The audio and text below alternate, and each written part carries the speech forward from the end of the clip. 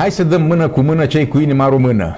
Bine ne-am regăsit, dragi prieteni, la emisiune cu ocazia uh, unei mari sărbători naționale, Unirea Principatelor. N-am idee de ce este botezată ca fiind mică, pentru că este, ea este până la urmă piatra de bază pe care a fost clădită România. Uh, să încercăm să reuși, facem eforturi și cumva să ajungem să reușim să devenim o nație unită și care să poată rezista uh, atacurilor până la urmă și timpurilor destul de întunecate care par a se uh, vedea la orizont.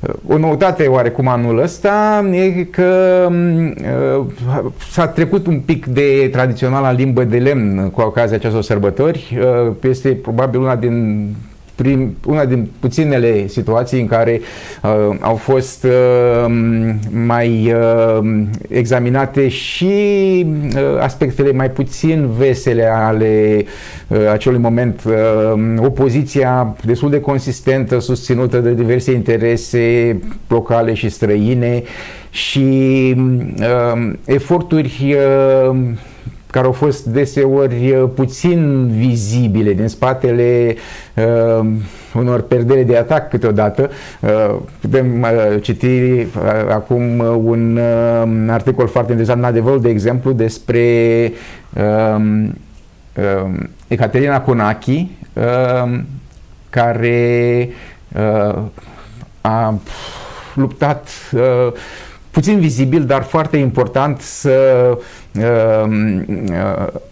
așeze lucrurile pe direcția unirii în răspăr pe undeva cu soțul ei care era un anti-unionist uh, convins și care a avut un foarte mare succes uh, în acest punct de vedere. E probabil un, una din forțele care a dus la, la, la unirea, uh, unirea principatelor și iar este probabil prea puțin cunoscută și dacă ne uităm cu atenție, probabil vom găsi mai multe asemenea cazuri în care eroi necunoscuți au uh, uh, schimbat uh, istoria acestei țări uh, în bine, pentru că, sigur, apar, au rămas, că și acum sunt uh, curente uh, centrifuge și care spun că cu tare provincia a ieșit mai rău uh, și ar fi trebuit să fie lucrurile făcute altcumva. Da, poate tot timpul la fel de bine să spunem că acele, aceeași provincie a putut să ieși mult mai prost altcumva decât dacă am fi fost împreună, pentru că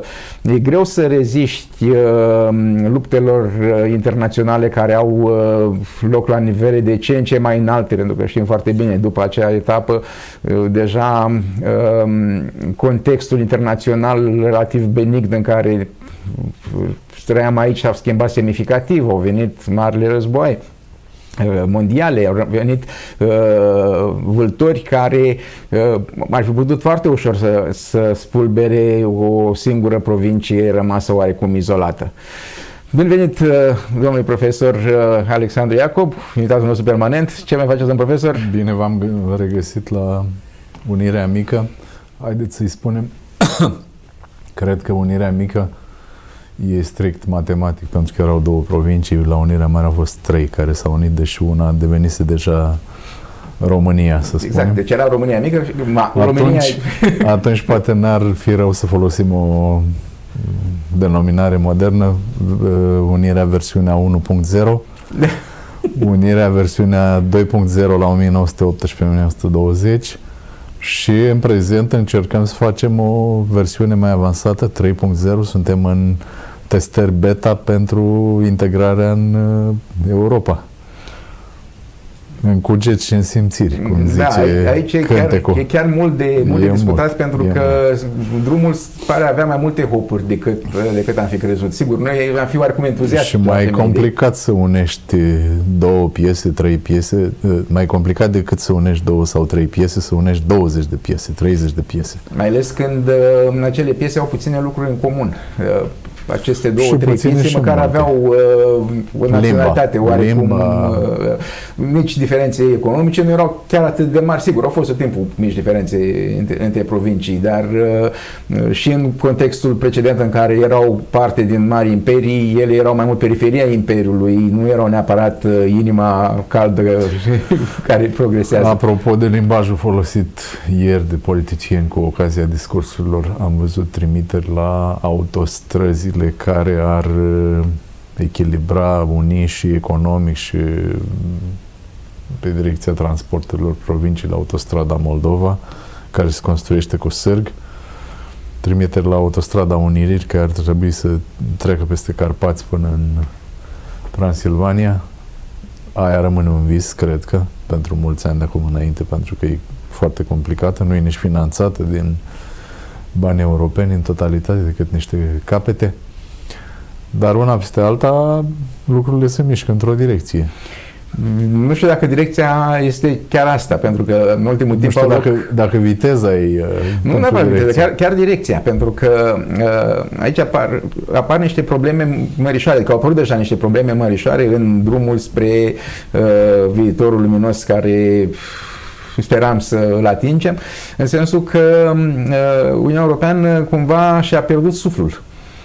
Dacă ne uităm în, uh, în 2017 în 2008 uh, aveau cam aceeași PIB cu Statele Unite, cam aceeași putere economică.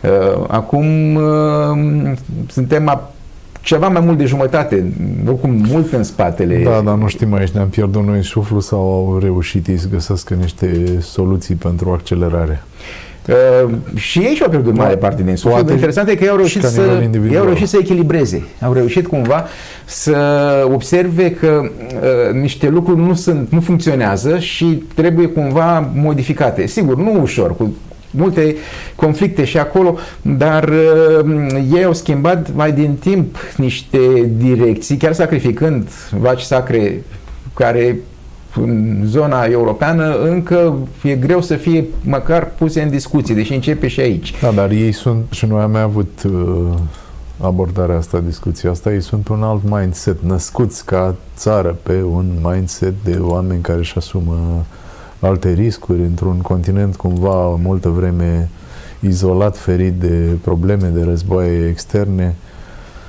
Populația acolo e, e dispusă, foarte mulți imigranți care sunt dispuși să facă lucruri curajoase, legislația care permite mai mult curaj, în primul, mai mult În primul rând, impresia mea că la ei uh, ce a ajutat și ajută în continuare este capacitatea de a coopera. Deși noi îi vedem ca fiind uh, capitaliști și cei răi și uh, cu sânge în dinți, ei cooperează imens.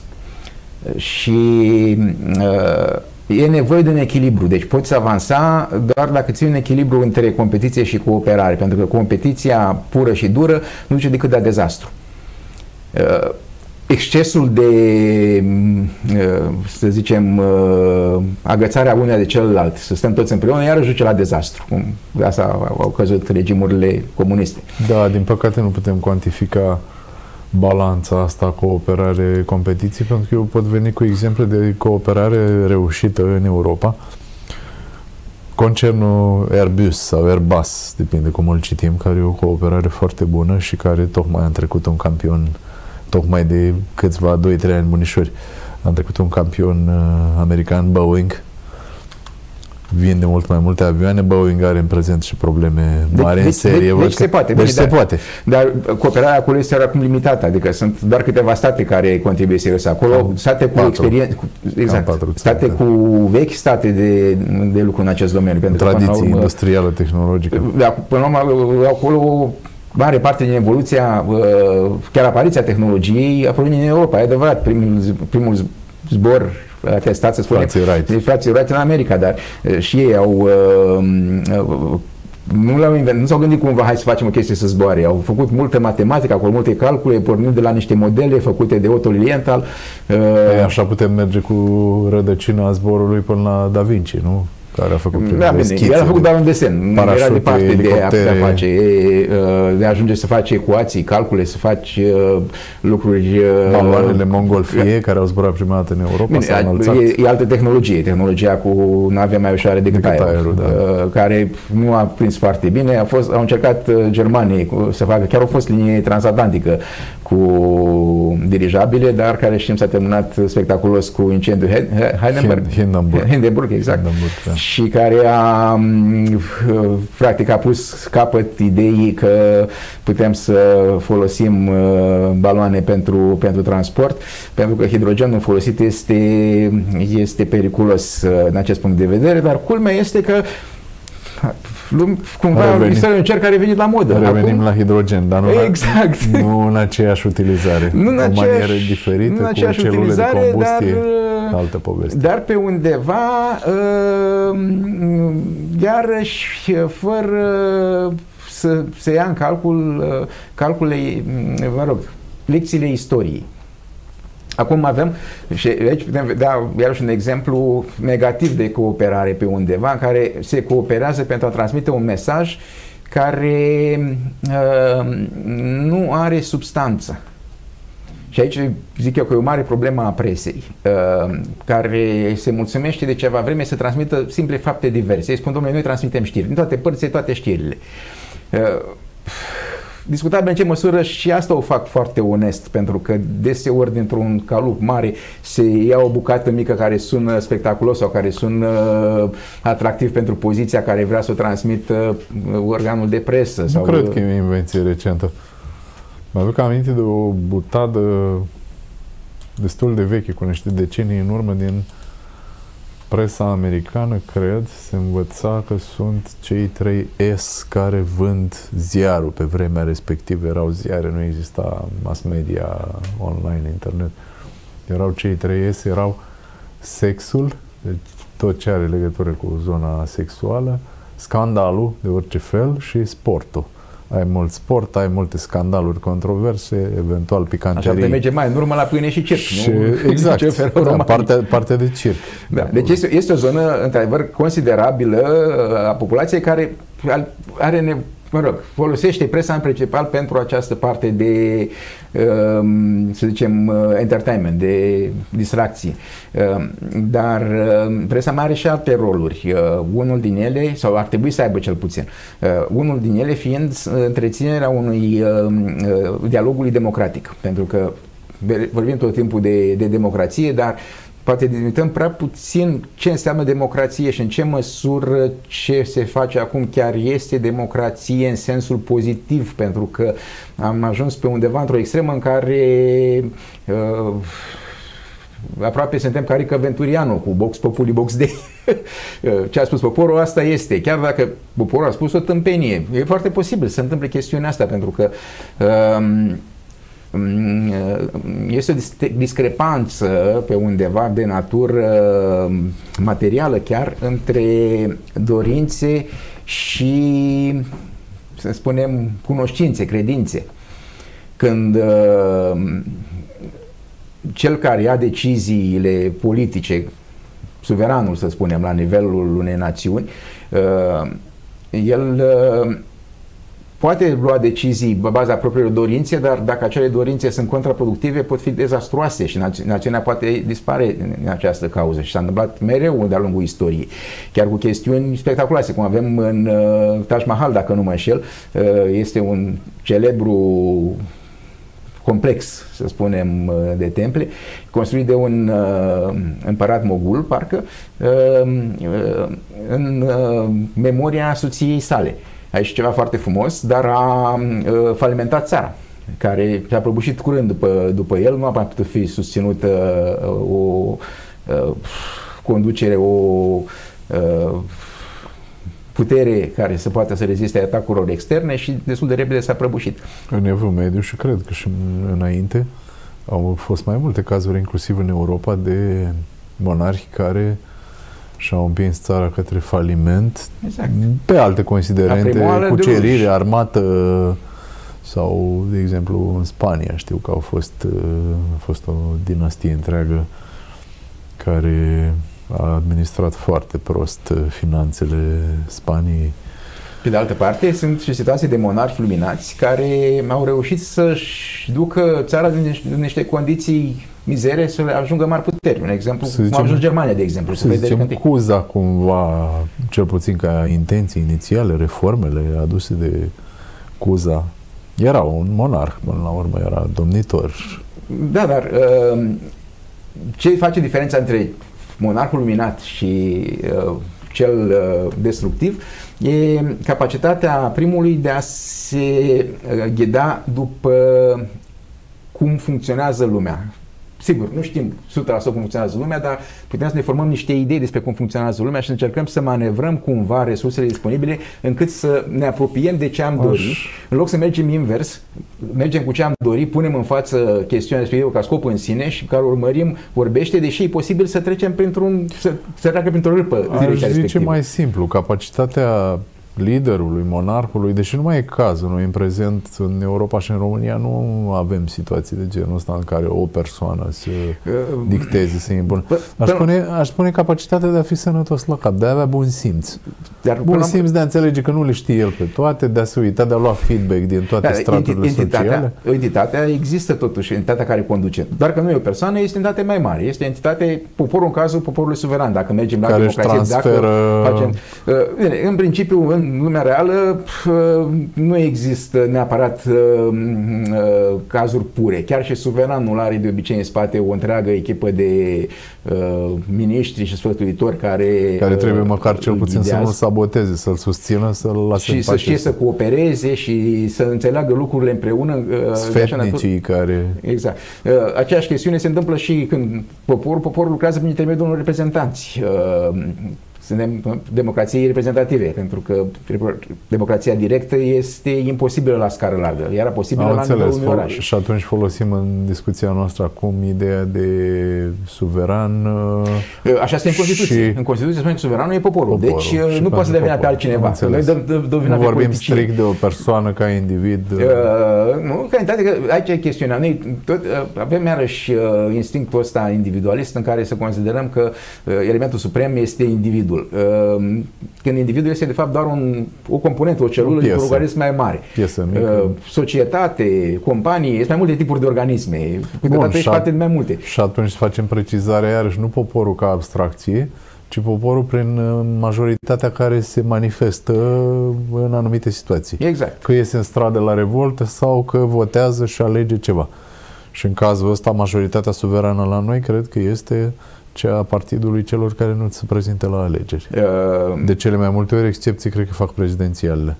Există, existat și monarhi care au fost absenți. Este, dacă nu mă șer, este o, un serial acum uh, pe streaming, uh, Bucătreasă din Castamar, uh, despre Filip al V-lea, monarhul cel mai longeviv, cea mai lungă domnie în Spania și care era, cel puțin spre sfârșitul domniei, complet absent. Practic domnea soția lui în locul lui. Deci, până la urmă, contează mai puțin ce anume scrie în hârtie că ar trebui să fie, contează ce se întâmplă în practică. Și deseori cele două diferă și aici apar multe conflicte în care vine cineva și spune, domnule, există un deficit uh, democratic, de exemplu, când vorbim de democrații, că poporul de fapt nu prea e întrebat și vin celălalt și spune, da, uite, scrie aici hârtia, pentru că ăla e delegat, ăla e delegat, așa să face, e decizia tuturor, deci Vorbesc democrație. în numele poporului. Da, chiar delegație. dacă linia este destul de lungă pe undeva și se poate se pierde pe traseu, uh, să spunem, uh, Esența... partea de legitimitate legată de faptul că au fost cândva niște alegeri. Că chiar se merge pe ideea asta că uh, alegerile au contat la cea prima oară. După aceea totul merge automat, pentru că vine din regulă. Regula aia, pe regula aia, pe regula aia, pe regula și iese ai democratic. Chiar dacă democrații, practic poporul se uită așa ca la teatru și zice, domne, nici n-am ce să aleg, nu, nu, nu mă simt reprezentat aici.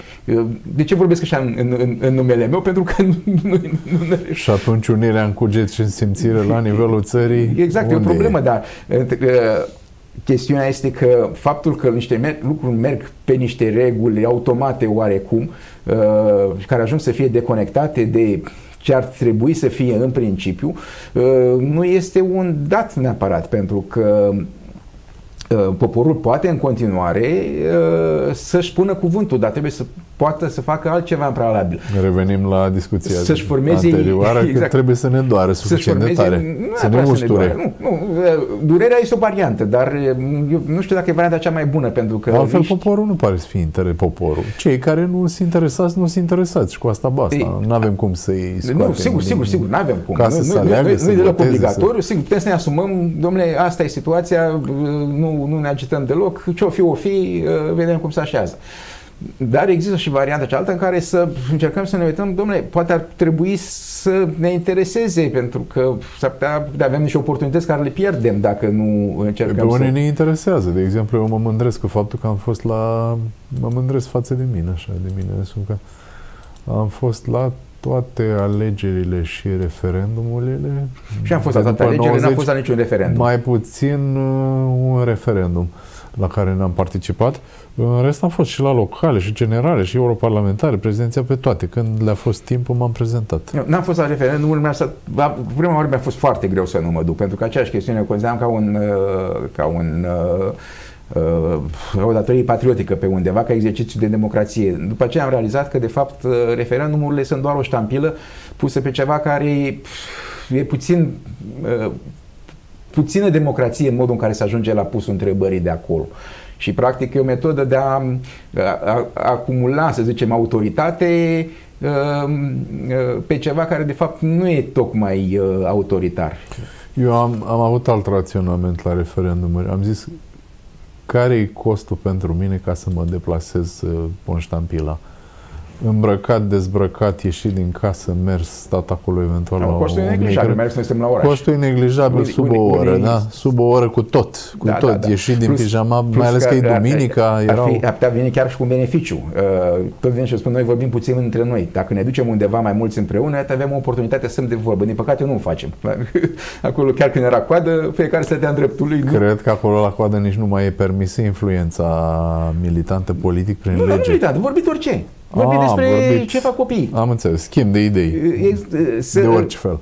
De orice fel, exact. Ca, da. Încât să ajungem să ne pese cumva și unii de ceilalți. ce am ajuns la concluzia că acel cost pentru mine este neglijabil, doar dacă cine știe afară nu era o vreme oribilă, ninsoare, viscol, furtună, dar n-a fost cazul, nu, nu mi-amintesc să fi fost cazul de vreme atât de complicată. Uh, M-am întrebat dacă mă duc sau dacă nu mă duc, rezultatul pe care mi l-aș dori eu ar face diferența, ar conta sau nu ar conta și am ajuns la concluzia că ar putea să conteze atunci când am fost la referendumul la care am fost.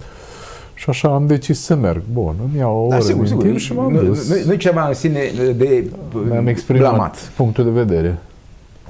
Dar uh, Chestiunea e că uh, e un, uh, problema referendumului că limitează excesiv opțiunile. Și, de fapt, dacă să ne gândim bine, referendumurile n-au doar două opțiuni, au trei. Uh, da, nu? Și abținerea este opțiune în sine. Este o opțiune, și, neprezentarea, și, și, pentru că nu și, se Și poate e singura opțiune de a, de a, de a, e singurul vot de protest posibil pe undeva. Spre de alegeri, în alegerile normale ai tot timpul mai multe opțiuni. Nu poți spune că ai doar două opțiuni. Tot timpul ai ce unde alege, inclusiv vot de protest. Votul de protest în alegeri să nu te duci, nu, nu mi se pare un protest, pentru că nu e nimic, nu ești descernabil de cel care, care chiar nu-i pasă, să zicem. Sau nu sau nimerește ștampila sau ceva de genul ăsta cu voturile anulate. Deci acolo nu, nu se De obicei la referendum e o alegere între două variante. E, da și nu. Orice referendum avea două întrebări, da și nu. La, Prea puțin două. La când... celelalte alegeri ai mai multe opțiuni. Întotdeauna au fost mai multe opțiuni. Nu au fost niciodată un singur uh, Ba da, în finala la prezidențiale au fost două. Uh, da, da, da. Finalele la prezidențiale sunt da, de tipul acolo, ăsta acolo sau sunt, la locale când erau în două tururi rămâneau da, primii da, Iarăși, uh, finala la uh, prezidențiale, turul 2, e practic aproape un fel de referendum. Ești de acord, nu ești da, și acolo poate să meargă un vot de protest că nu mă prezint și aia care se prezintă, că are pasă destul de ceilalți doi, se duc se, să se lecteze. Dar deseori te duci nu cumva să fie mai roade, că acolo alegi răul cel mai da, mic pe undeva. Da, duc aminte uh, de un vot la prezidențiale când am votat pe considerentul ăsta. Da, da. Și poți să ajungi, aici e chestiunea interesantă pe undeva a modului uh, modului de vot la, mani- la această manieră uh, separată pe prea multe opțiuni că s-ar putea întâmpla să nu poți ajunge dorești. Eu am făcut o analogie între direcția uh, în care am dorit să mergem, sau care ar putea să mergem dacă găsim un traseu pe care am merge și uh, ideologiile, partidele, uh, programele uh, care sunt niște axe. Deci putem trage un traseu care vectorului pe exact și, cele două, trei poate, și poate fi eventual o direcție, deci orice direcție sau marea majoritatea direcțiilor practicabile uh, sunt de obicei ceva între rare ori cad pe fix pe o anumită, pe o anumită axă.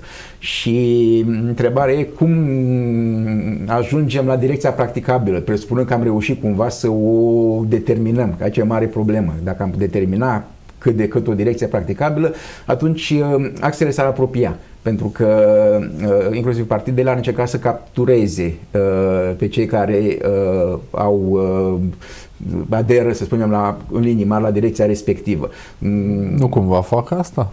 Nu prea o fac pentru că problema este că nu prea există o opinie publică. Aici e o mare problemă și aici fac eu o mare vină presei, iar trebuie să întrețină dialogul democratic care să formeze opinie publică, de când acum avem o mulțime de idei, toate împrăștiate.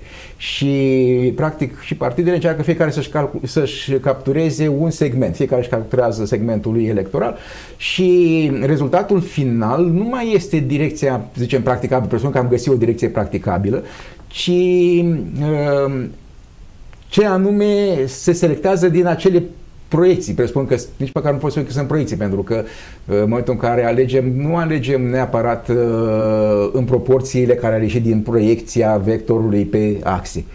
Alegem pe mulțime, mulțime de alte criterii. Care mi-e simpatic, care mi-e aproape, care cunosc pe cel de acolo, diverse alte da, chestiuni. Da, da, și s-ar putea întâmpla să nu, direcția făcută din proporțiile vectorilor, odată că s-ar putea să nu fie chiar presupunând că am putea să le ducem uh, pe acolo, dar uh, marea problemă este că uh, s-ar putea întâmpla să fim obligați să mergem pe niște vectori, chiar dacă nu duc unde trebuie. De exemplu, alegem pe cineva care susține, cum s-a, cum s-a întâmplat uh, cu Germania, de exemplu, au ales pe unii care au spus că, domnule, trebuie să scoatem energia nucleară. Ok, trebuie să scoatem. Și aici s-au dus pe vectorul că scoatem energia nucleară și din acel punct nu mai era opțiunea de a ajunge pe undeva la un punct în care să, pui, să poți să fii competitiv Apropo economic. de Germania, am văzut uh, știre zilele trecute că AFD, principalul partid de dreapta, să zicem, populist, nu știu unde să, cum să le etichetez mai bine, în creștere, în ultimii ani. Masivă chiar. Masivă.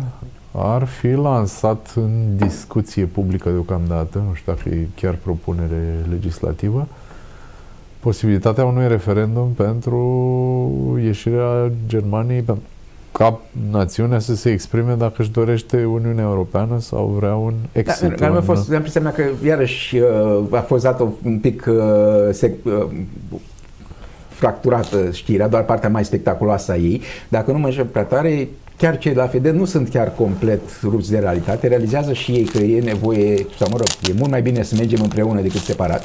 Și uh, ceea lor este să fie abordate serios la nivel european și la nivel german împreună, uh, ceea ce văd ei ca fiind probleme.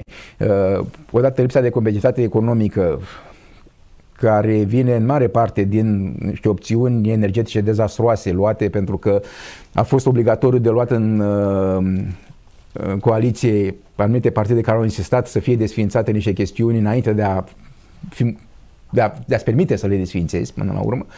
Deci pe partea energie uh, e, e vizibil acest lucru și, vă rog, partea cealaltă mai puțin uh, credibilă pe undeva, dar pare a fi totuși semnificativă. Nu știu, n-am idee, n-am fost acolo să văd neapărat dacă e așa sau nu, ei susțin că uh, se creează mari probleme datorită imigrației, care iarăși se intră în niște conflicte cu niște idei uh, foarte umaniste, uh, dar care până la urmă au nevoie de bază de sprijin populară ca să poată să reziste. Și dacă cumva se rup, uh, nu-i uh, s-ar putea întâmpla să dispară și umanismul cu totul pe undeva. Bun, dar e greșită informația că au propus sau că au sugerat posibilitatea deci, unui problema a fost uh, că ei vor propune, dacă ajung la guvernare, pentru că direcția până la urmă ei încearcă, să spunem, să se poziționeze ca fie parteneri uh, uh, credibili de guvernare, ceea ce deja ar fi o mare ruptură, pentru că a existat uh, până de curând așa numitul cordonul sanitar în jurul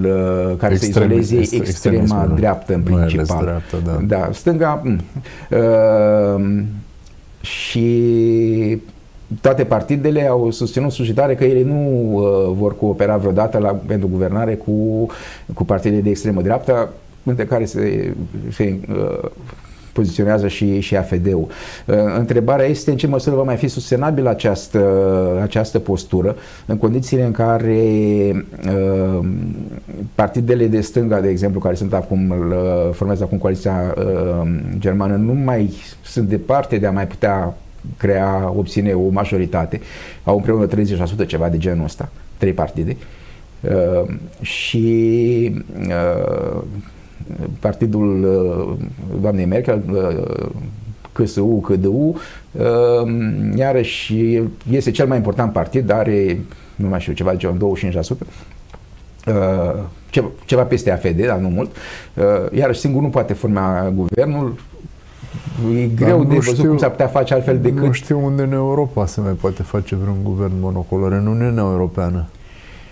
Dacă se mai poate face guvern da, monocolor, dacă există vreo țară unde un singur partid să obțină în principiu nici, nici, nici, nici nu e neapărat de dorit pe undeva, adică teoria alegerilor uh, cu votul proporțional. uh, Uh, era că vor fi la putere diverse voci care vor negocia și vor găsi calea între ele cumva care să și să iasă mai în față important și, decât vreun solist oricare ar fi uh, Exact. Asta e logica pe undeva uh, votului proporțional încât să apară acolo multă lume și ei să discute între ei. E, problema este că între timp lucrurile nu au funcționat chiar cum era de așteptat în sensul că nu se mai discută, fiecare partid și-a întărit un, o direcție clară la care nu renunță orice ar fi, poți să uh, pentru că nucleul dur despre care am vorbit. Așa, sau idei, sau pur și simplu obsesii vechi de care nu se pot depărta de oameni. Oamenii se schimbă foarte greu și odată ajuns la putere, nu, asta e situația. Și atunci uh, N-ai se iau decizii chiar când se dezastruoase. Nici dreapta, nici înapoi, singura posibilitate. Da, da, nu, dar să ajung în situații cum, cum a fost la, la, la germani, uh, unde uh, foarte repede după instalarea coaliției tricolor, au apărut conflicte, lupte, războiul din Ucraina și tot restul, deci era clar că niște lucruri nu mai puteau făcute la fel. Trebuia să ne pregătim de război pe undeva. Te pregătești de război, ții energie, ții... Ei, uh, gen, uh, guvernul german spune, nu, sub orice preț, noi uh, închidem centrale nucleare, chiar deși rămăsese doar trei, dar foarte performante, mergeau foarte bine, ar fi prins foarte bine și acele. Uh, a spus, domnule, facem un studiu uh, tehnic, uh, științific și au venit după ceva vreme, spun, studiul științific a spus că nu e nevoie de ele. Nu l-au publicat nicăieri. Chiar acum încearcă unii să-i dea în judecată guvernul ca să se publice cum anume au dat concluzia asta și ei refuză spunând că sunt chestiuni strategice acolo, că mai sunt negocieri și își slăbesc mâna dacă, dacă o public. Deci, afla deci putem vedea că s-a decuplat foarte tare exercițiul puterii de, de partea de democrație până pentru că poporul german este deja în mare parte predominant pro-nuclear în, în acest moment când a văzut că nu se poate fără, adică realmente a fost o idee proastă, se întâmplă, oricine poate să o idee proastă, dar vezi ea, vezi Mai că și nu ești din ideile proaste, ei, încerci În momentul în care ai ajuns cumva la putere cu niște reguli să pui uh, pe cineva care merge cu ideea aia până în pânzele albe, indiferent ce ar fi, chiar dacă s-a prăbușit complet verge în, uh, în, uh, în sondaje, uh, nu contează, ei țin în continuare pe, Bun, pe aceeași chestie. fragmentarea asta a spectrului politic în toate țările Uniunii Europene este o piedică în calea unirii, iarăși, în cuget și în simțire, ca să rămânem pe Nu e interesant e că nu în toate țările Uniunii Europene. Deci fragmentarea, fragmentarea este, în general, uh, uh, mai vizibilă în țările cu încredere uh, socială redusă în care oamenii, poporul nu, for, nu reușește încă să formeze un corp politic creativ coerent. Și, uh, și în acest punct, de, de, de această cauză, poporul fiind putându-se fragmenta ușor, uh, partidele fac chestiunea asta. Care ar fi un exemplu de țară care nu se încadrează pe Țările nordice. Asta? Țările nordice dintotdeauna au avut sistemul proporțional și la ei nu există această fragmentare atât de dură. Ei chiar au negocieri în, înăuntru uh, guvernelor și înăuntru parlamentelor Coaliții. și mișcările se, se întâmplă relativ rar și relativ ușor, să spunem, când se întâmplă. Exemplu Finlanda, de exemplu. Uh, Partidul Verde din Finlanda este un, unul din puținele partide verzi pro-nuclear, pentru că au făcut calcule, au văzut care e situația, ce e nevoie de făcut și a reieșit, domne, e nevoie de energie nucleară ca să ieșim din problema, măcar din problema conflictului cu, cu Rusia, care, mă rog, la ei doar... De ce nu reușesc să împrumute, să imite, să zic, acest mod de a pune problema, de a gândi țări din uh, zona germanică, anglosaxonă de la vecinii și verișorilor nordici. Ei, ei nu, deci, da. germanii nu au tradiția. Germania e o țară destul de interesantă. De ieșit de una din ultimele națiuni, state naționale europene. Pentru că te aștepți de la nemți, mă iertați, te aștepți de la nemți să fie reci, calculați, și să se uite la ce se poate face cu datele pe care le ai în momentul ăla. Se da, pare poate, că poate avem noi o idee greșită despre cum să Poate avem noi o idee greșită. adică mai degrabă găsim calculați uh, în cei mai nordici, chiar dacă, sigur, originea germanilor este mai, mai nordică, dar uh, cumva evoluția lor a fost un pic diferită. Ei uh, um, nici nu s-au format un stat unitar cum au format francezii, au rămas foarte fragmentați până hăt încoace, deci sunt, au o vârstă ca stat național nu mult diferită de a noastră plus uh, marea ruptură după al doilea război mondial cu cele două Germanii RFG, RDG încă, încă erau, și care, încă, erau mari. care nu e sudată, nu e nivelată, nu e da, da. Uh, omogenă. Dar tradiția lor a fost o timpul mici sărișoare, mici chestiuni, Sfântul Imperiu Roman în care fiecare își făcea, dar era un fel, dacă să se uităm bine, probabil că Uniunea Europeană se aduce pe undeva ca structură cu acel Sfânt Imperiu Roman în care fiecare își vedea treaba lui, uh, puterea centralizată fiind foarte rest limitată și ca să ajungi să fii ales împărat trebuia să faci tot felul de cedări pentru cei care veneau cu voturile pe undeva pentru principii electori și uh, ei uh, cooperau împreună înăuntru uh, stătulețului, orașului, erau o, o întreagă... Nu întâmplător, Germania este și în prezent stat federal. Da, da. La modul serios. Adică sunt elemente de legislație care... Dar landurile acum sunt sensibile mai mari decât erau uh, teritoriile... Categorii. Cred că la un moment dat avusese și peste 300 de mici regate, da, da, da, da, era principate deci pe teritoriul ei, actual al Germaniei. Și exact, nu, nu, nu, nu au tocmai o tradiție a cooperării în totalitate, să spun, sau mă rog, nu a cooperării, a cooperării, uh, a negocierii, să spunem. Deci ei fac, au făcut reguli, diverse reguli, cine este conducătorul și regulile astea în timp s-au tot mișcat până când au ajuns state relativ mari. Uh, ei, în momentul deci respectiv... istoria a fost diferită față de țările nordice, care sunt mai puțin populate și mai unitare și cultural și religios. Germania e cumva da, da, acolo a fost din două catolici europene, exact. Da. Uh, și distrusă... Catolici în sud, predominant protestanță în centru și în nord. Exact. Deci uh, niște chestiuni, niște istorii au făcut oamenii un pic diferiți și lucruri care merg la, merge la cineva, adică merg la cei nordici care au o încredere reciprocă semnificativă, tind să scârție în alte părți. Și vedem, poate... vedem și în rândul populațiilor slave din Europa discrepanțe majore între cehi și polonezi pe de-o parte sau ruși. Mă refer la atitudine, la organizare socială, la nivel economic. Uh, și ruși, zona estică chiar n-a avut aproape deloc o, o tradiție a încrederii. Tot timpul a fost oarecum separată între, între o oligarhie Bine, Chiar dacă au importat uh, țari uh, și... Au importat un joc, adică aceeași chestiune cu formele fără fond se exportă, se importă și la capitolul organizării politice și pe undeva neplăcute, că așa a ajuns Putin la putere. Putin a ajuns la putere pe valul, pe vântul democratic. Pentru că după, să zicem, disoluția Uniunii Sovietice, s-a tot presat pe ideea hai să privatizăm tot și totul se face prin alegeri. Ei, neavând, ei neavând o tradiție a dezbaterii democratice, pentru că, în general, poporul discută puțin, dar nu doar și la japonezi, același lucru. Ne spuneau cineva, domnule, japonezii nu discută între ei politic chestiuni genul ăsta. Toată lumea votează, cum îi spune șeful de clan, au organizări, cu, cu întreprinderi, cu chestiuni de genul ăsta.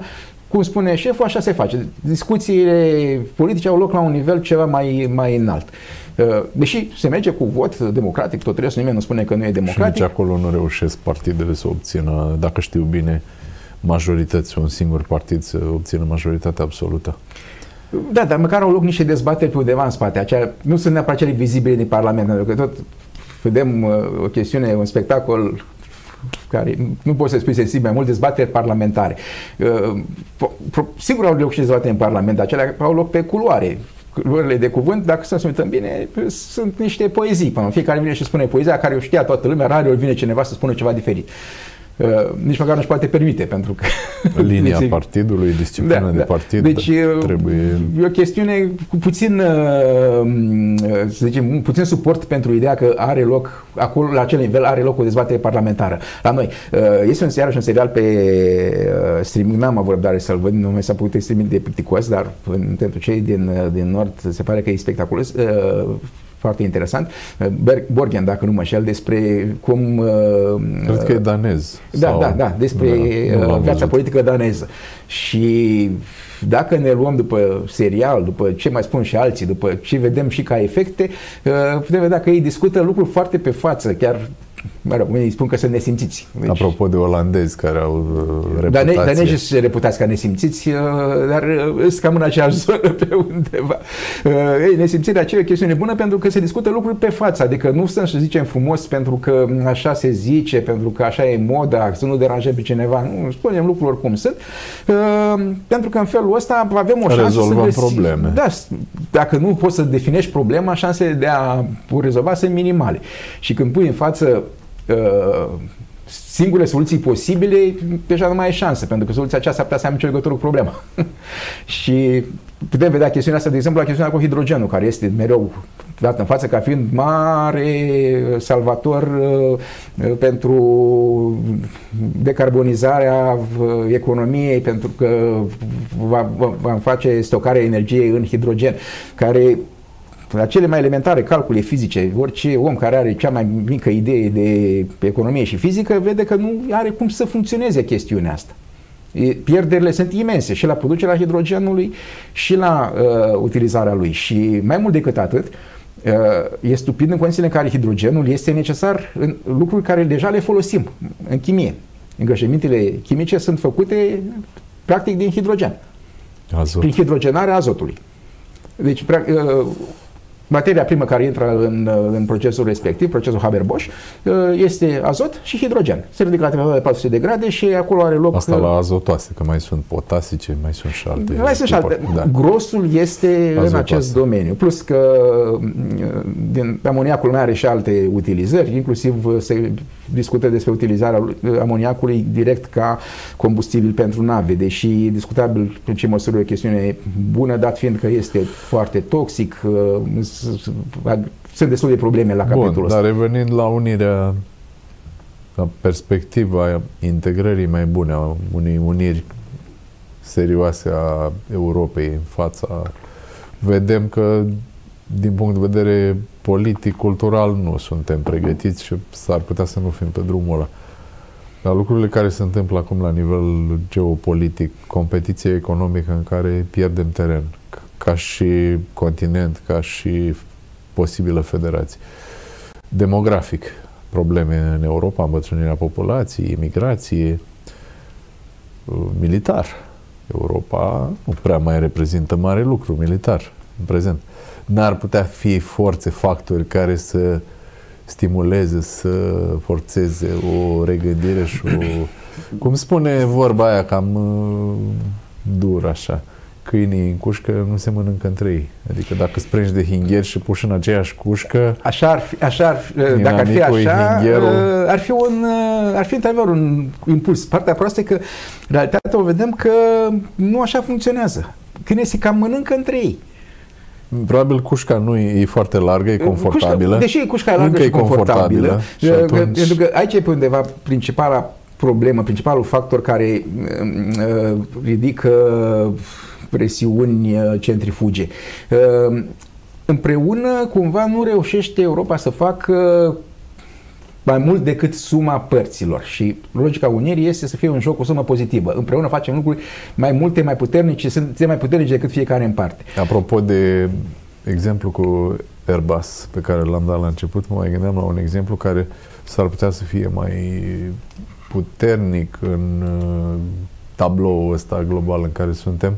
Compania olandeză despre care noi am mai vorbit, ASML, care e, asigur, e companie fanion europeană, probabil cea mai importantă companie pe tehnologiile astea digitale, pe hardware, dar nu e singură, e în spatele e un întreg ecosistem de sute de firmulițe mai mari sau mai mici care fac niște componente și ASML știe rețeta uh, Uh, coordonării acestui, acestei orchestre. De exemplu, Zeiss din Germania sunt singurii capabili să facă lentile de puritate și mm, șlefuire la nivelul la care trebuie pentru mașinile alea de litografie de la ASML și sunt și alți componentiști și peste ocean pentru că ASML integrează și componente aduse din Statele Unite. Dar acea cooperare nu, nu a căzut cu Hârzobudin, cineva a organizat-o și continuă să o organizeze. Da, dar funcționează foarte bine. Da, funcționează, funcționează foarte că bine. firmele și uh, de acolo miezul, cooperează între ele și se ajută între ele. Deci, miezul fabricației de semiconductori de nivel înalt e aici, da, din Europa, da, da, da, da, în Olanda. Dar e o chestiune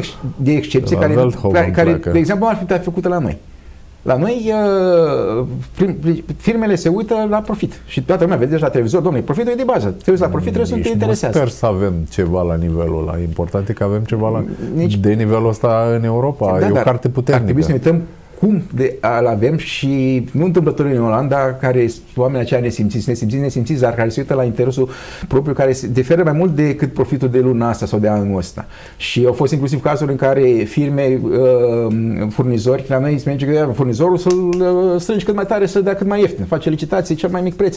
Uh, chiar dacă la este de pe piață și rămâi cu ochii în soare că n-ai cu cine lucra. Cred că Ei, am chiar văzut ajută. amândoi sau ați postat la un recent zilele astea un interviu, ceva, un articol din Economist Economist, cred că era preluat. Da, da, da. A, unde vorbeau... N-am apucat să spunem ascultătorilor, avem un grup uh, de discuții pe Facebook, Știința Candelă în Întuneric, de acolo și ideea cu, cu candela de aici, în care încercăm să căutăm uh, uh, informații și să le punem cap la cap. Informații de calitate? Informații, mă rog, știm, calitatea o putem afla uh, examinând-o. Așa și cum o vedem noi subiectiv, evident. Discutând între noi, putem vedea ce e de calitate și ce nu. În sensul că o informație de calitate rezistă văzută inclusiv din multe puncte de vedere. Cea de proastă calitate, la un moment dat, uh, observi că nu ține. Uite, observi că ăsta vine și spune o minciună și sunt o mulțime de minciuni care circulă în presă, uh, multe prin omisiune, adică scoate o chestiune care nu e semnificativă, uh,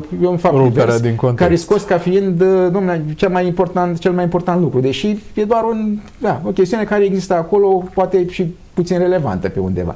Discutând între noi, putem uh, să ne ajutăm să vedem unghiuri diferite și să ne apropiem de informațiile care rezistă în sine și de cele care sunt doar așa idei, iluzii, poate chiar ideologii strecutate pe supreș uh, și care mai mult, mai mult strică. De asta tot spunem, trebuie să discutăm mai mult în orice manieră vin și zic că ar trebui să o facem mai mult în realitate decât uh, mijlocit uh, uh, prin rețele sociale, dar putem folosi și rețele sociale la această manieră, în sensul să ne formăm undeva, cum am format acolo un grup, uh, care limitează pe undeva zgomotul care, care circulă. Nu se păstrează pisici și căței, ci discuții serioase și se adaugă mereu, ați văzut cum e acolo topologia, în general uh, nu, nu se adaugă articole noi ca postări în sine, ci ca un tip de comentariu comentariu la teme. uh, și care aduc uh, rafinări, să spunem, îmbunătățirea ideii principale, dacă apar idei complet diferite, deschidem o temă nouă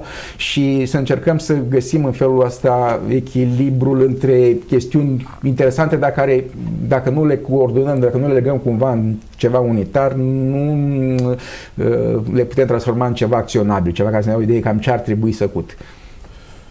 Așadar, există și premize pentru sau uh, speranțe pentru creștere europeană în uh, concert, în uh, integrare. Aici, aici e problema cu concertul. Și mă mai uit la un fenomen proaspăt de zilele astea.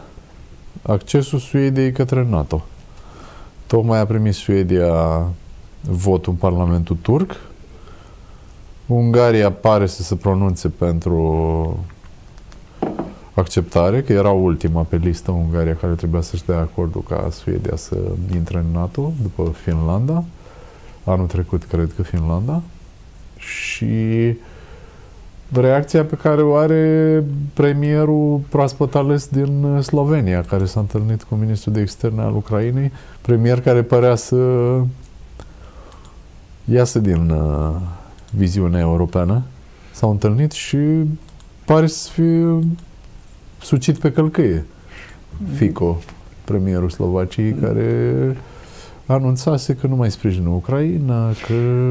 Până la urmă este chestiune de negociere. Probabil. Deci pornești ca... Nu, știi, nu știm ce s-a discutat. Dai într-un capăt și vezi, mai dă cineva, mai găsești o formulă Probabil. care să, să găsească o soluție, o chestiune care să iasă cel mai bine. Dacă cedezi totuși, aici pe undeva poate ar putea să ne uităm la... Asta s-a întâmplat între Turcia și Suedia. Poate am cedat prea mult, prea ușor. Domnule, așa s-a spus uh, de la UE, deși s-a spus de la UE, ar trebui să fie o contradicție în termen. Noi suntem în UE.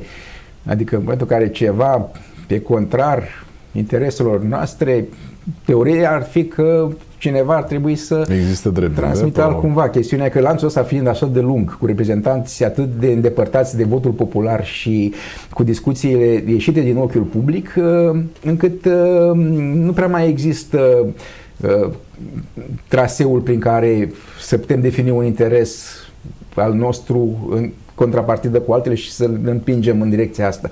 Și alte țări care sunt prezentate ca fiind cele care fiind anti-europene, practic asta au făcut, au găsit niște chestiuni care au, au interes propriu și au ținut la ele chiar împotriva presiunilor UE, pentru că într-adevăr UE uh, nu poate impune nimic. Ea este democratică în sensul că fiecare țară are drept de vot.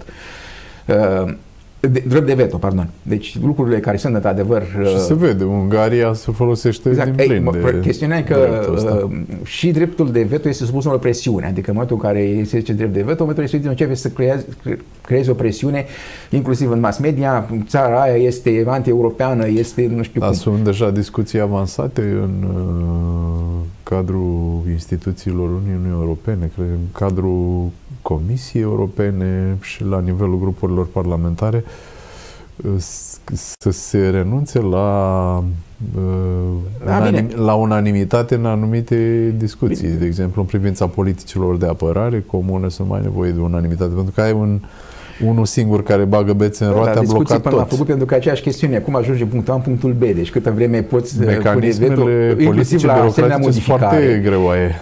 Uh, nu că e greoaie, deci dreptul de veto este gândit pentru bine, pentru că Uniunea Europeană nu este totuși, fiind o federație, este doar uh, o Uniune de state care sunt suverane. Ele și-au externalizat uh, o mică porțiune a suveranității legată în general de partea comercială.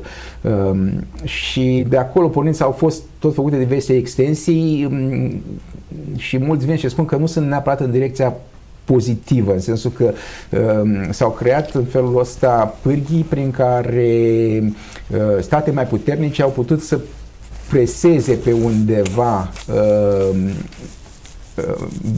idei, direcții care nu erau productive, poate nici măcar pentru ei, dar merge pentru toată lumea. Exemplu tipic fiind iarăși Germania și Polonia. Uh, foarte mult timp era criticată foarte tare Polonia că este anti-europeană și se opune politicii vezi europene pentru că refuză să-și închidă centralele pe cărbune.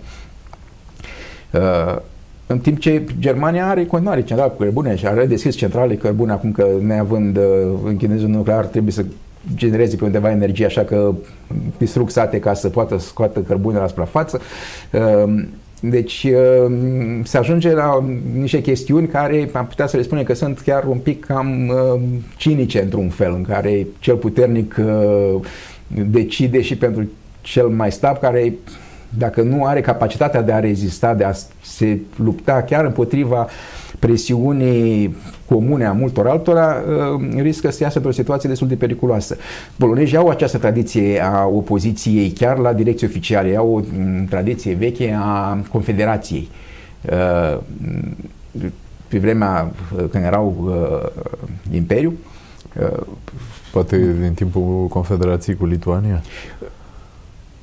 Da, datează. deci uh, Confederația era un uh, tip de organizare a celor care se opuneau. Deci era inclusiv în Constituția lor. Um, șleachtici, boierii care uh, se, se opuneau, considerau că o direcție a țării nu e potrivită, puteau forma o confederație, se adunau și se luptau cu arme în război și dacă câștigau și asta e situația, își impuneau cu, pe calea armelor poziția și au fost multe poziții istorice de acest fel în care confederații au uh, luptat cu regele și poziția oficială, câteodată au câștigat, alte ori au pierdut. Ultima oară celebră uh, luptă care a dus până la urmă de a uh, uh, fragmentarea Poloniei, când uh, iarăși uh, s-au exploatat o regulă contraproductivă, regula vetoului, și aveau regula uh, de veto în, în Seim, orice șleactic, orice boier putea să opună oricărei uh, legi care, o, care considera inacceptabilă și pentru în el. mod inevitabil unii abuzau de... Uh, în mod inevitabil, uh, rușii au constatat că e o metodă foarte simplă să direcționeze, să facă țara ce dorea. Era Uh, suficient aveau- să cumpere un singur. Exact. Aveau cineva care orice chestiune, deci practic logica probabil și atunci era că se discută în prealabil între boieri și votul este doar așa un spectacol în care toată lumea e de acord. Ei, dacă este unul care e cumpărat de altcineva, deja te-a a blocat această cale. A apărut uh, Evident, știi, și-au dat seama că nu e în regulă direcția asta și au format o confederație care a luptat cu, cu armata regulată și care a fost uh, uh, învinsă de, de ruși, după care au pornit... Avem uh, și acum regula asta. Unul singur poate bloca decizii europene. Uh, Unul din 27 poate fi cumpărat, nu dăm nume, poate fi ca și cumpărat, cum dar n-ar fi evident. problema, întrebarea este uh, în ce măsură uh, de, adică contează mai puțin cum sunt deciziile, de cine sunt făcute, ci cum sunt în sensul că dacă sunt bune sau sunt rele. Pentru că faptul că ceva este susținut de o majoritate a statelor europene nu înseamnă neapărat că e E bun. bun. Adevărul, Și- adevărul n-ar trebui stabilit prin vot. Exact.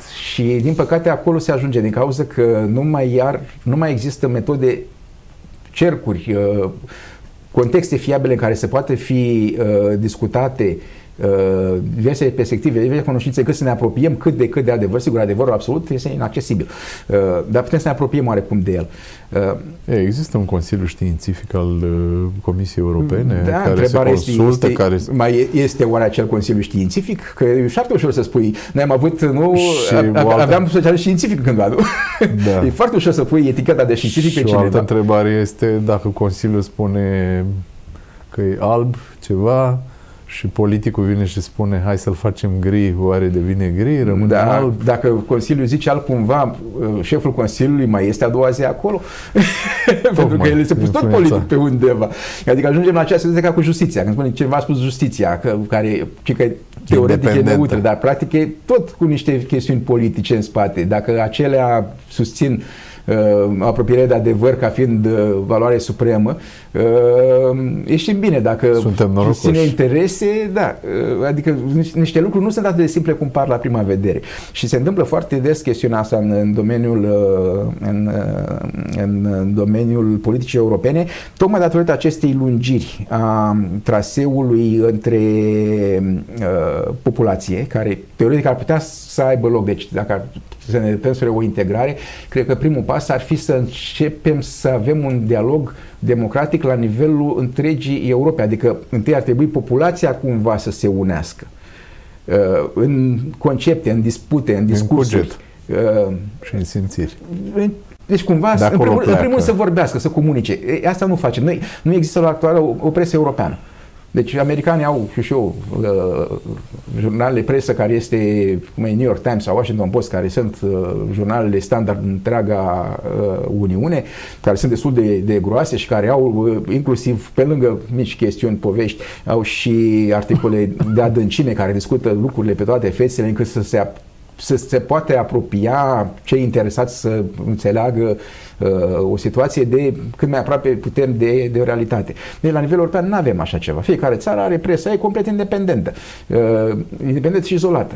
Rare ori, uh, știu și eu, mai se preiau câteodată câte un articol de la, din altă parte, dar pre, preluarea respectivă este deseori selectivă, ce se potrivește uh, jurnalului din altă parte sau populației. Bun. Dar ca să revenim la punctul de pornire de la Unirea Principatelor, pentru că văd că ne încadrăm și cu timpul. Suntem mai bine acum ca țară economic, social, democratic, politic decât eram la 1859 sau după acel moment. Aș spune că e un truism că suntem evident mai bine pe toate planurile. Nu, nu, nu-mi dau seama care este semnificația, până semnea comparație pe undeva. Lucrurile fatamente Semnificația este uh, dacă momentul ăla a reprezentat un restart, un start pentru creștere, pentru o direcție bună, că vorbeam de direcție, că nu e cea mai bună, nu știm dacă e cea mai bună, nu e clar și suntem pe un trend bun și continuăm sau... Reprezintă un start în sensul că ne-a ajutat uh, acolo a pornit uh, for, practic formarea națiunii. Nu doar unirea, ci și ce s-a mai întâmplat pe lângă ea. Uh, o mulțime de intelectuali, de mici boieri, de uh, lucrători uh, au început să încerce să învețe și pe alții, să facă școală, să uh, încercăm să începem să comunicăm mai mult, inclusiv prin presă. A început, a început de dezvoltarea presei, care a fost nu era semnificativă până atunci. A început uh, trecerea la alfabetul latin, iarăși ne-am separat pe undeva de, am început să facem contrast de, de vecini, mai ales față de ruși. Noi aveam atunci scriam cu caractere chirilice, slavone, mă rog, uh, și uh, s-au pus premisele, să spunem, să începem să ne formăm ca popor. Uh, Așadar a fost un uh, lucru bun, constructiv. Da, deci a fost constructiv din punct de vedere a formării ca popor, pentru că, iarăși, dacă poate să vină cineva, un giga contra, să spună, nu, dar poate era mai bine să fi stat așa și lua aurul da, și ar trebui Moldova. o istorie alternativă, simulată, exact. nu avem, n-ai, n-ai de unde să știi cum, cum, cum, să... cum ar fi fost altcumva, dar aproape sigur n-ar mai fi format acum popor, uh, nici măcar așa cum suntem acum, pentru că eu zic că mai avem încă mult de lucrat până să ajungem un popor. Ehm, s-a pornit cu entuziasm atunci, au mai fost câteva pași uh, făcuți uh, în această direcție, dar au fost și destui pași înapoi ehm, în care ne-am spart, fiecare pentru el, nu ne interesează ce fac alții și mm, care pe undeva au dat, au restrâns posibilitățile noastre de a mm, ajunge un jucător uh, cultural în primul rând, pentru că lupta grosul luptei are loc pe plan cultural, nu pe plan, știu și eu, militar, politic, uh, chiar industrial. Acelea vin. Uh, putem vedea, exemplu... Dacă există o cultură a cooperării, situația... atunci e, ușor, e mai ușor de dezvoltat uh, nu, e, e, e, e singura posibilitate pe undeva. Putem să ne uităm la Polonia iarăși.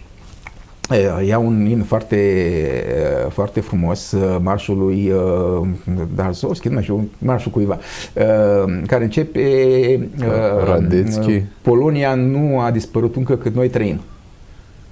Pentru că acest marș era, uh, fusese compus uh, de trupe poloneze din armata napoleoniană. Polonia la acel moment deja nu mai exista, fusese spartă între uh, puterile din jur, roaseră rușii o bucată, Austria o bucată, nemții o bucată și Polonia a dispărut ca stat.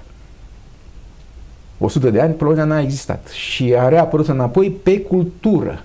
Deci a rămas cultura polonă, aspirația polonezilor să devină nou cineva, să-și formeze nouă țară și când s-au așezat condițiile pe undeva uh, geopolitice, au reușit să ajungă din nou în această situație și asta împinge inclusiv acum, pentru că uh, ajungem la discuția, de exemplu, cu energia. Deci ei s-au pus uh, presiunilor europene, europene pun în ghilimele, pentru că mm, e o parte mică, dacă ne uităm, dacă facem o statistică democratică între populația europeană, o să vedem că puțin, nu obținem o majoritate care ar fi insistat, domnule, trebuie să-și închidă polonezii uh, centralele cărbune neapărat, indiferent ce se întâmplă. Uh, un număr mic de ideologi au împins în față chestiunea asta uh, da, da, a fost tolerat, în numele a fost salvării planetei, deși dacă să, să ne uităm la rezultatele, efectele muncilor, constatăm că de fapt e un pic negativă, pentru că presiunile lor au închis forme de generare de energie fără emisii și foarte curate, uh, promovând pur și simplu prin, fapt, prin efectul vidului de energie, surse murdare, emisii, poluare, chiar și, chiar și foarte multe victime până la urmă, pentru că cărbunele creează... Cenușa, fumul... Da, da. Uh, adică pe undeva uh, sunt mulți uh,